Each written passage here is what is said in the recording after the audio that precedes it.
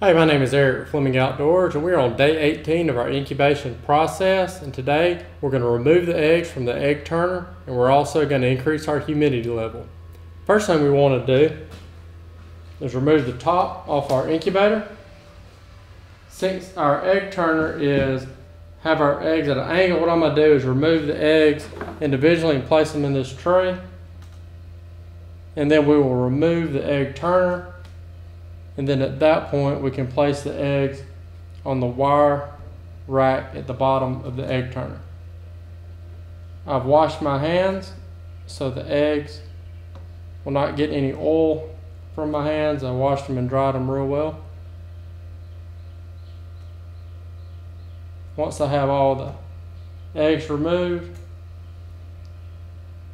we will also increase our humidity level during the first 18 days, our humidity level was between 45 and 55 percent. We maintain that by keeping water in the trough that's labeled number one. And then once we have the eggs removed, what we'll do is we'll increase our humidity level by 10%. In doing so, all we have to do is fill up the water trough labeled trough number two.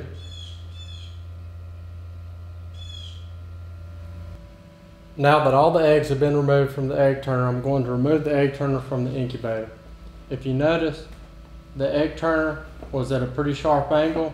That's why I did not remove uh, the eggs in the egg turner. I took them out individually and placed them in an egg tray. Now that we have removed our egg turner,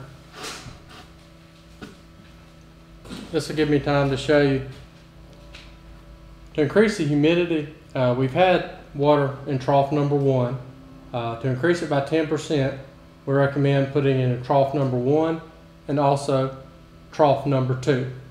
What this does is it'll increase our humidity from 45 to 55% to 55 to 65%. Uh, in doing so, basically, I just get a glass of water fill up trough number one or fill up trough number two.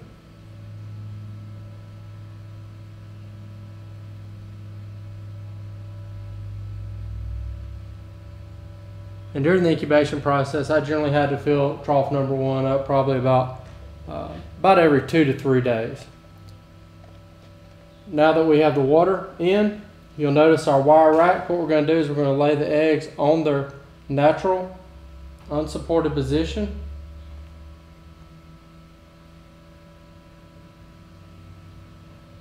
For the last three days.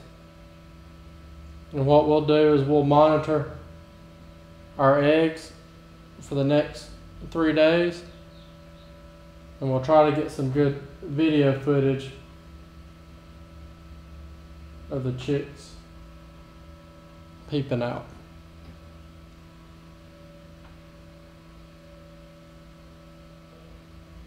And hopefully this video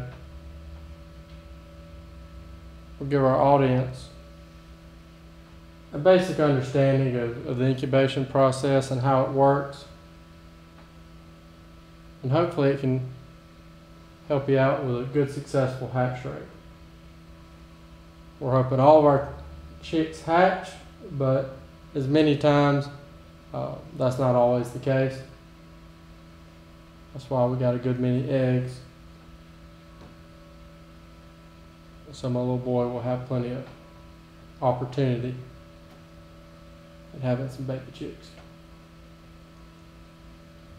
Then once we once we get them hatched, we have uh, another video on brooding. And in that video, what we'll do is we'll kind of give you two different options. Uh, we have a brooder for a little bit more of a large scale operation. Uh, we have it already put together and ready to go. And then we also will uh, uh have a heat lamp and, uh, and a water tank, and that'll give you another option uh, at brooding your chicks. but we'll be back here in probably a couple days as soon as they start hatching And hopefully we'll get some good video footage on that. And we appreciate you watching our video.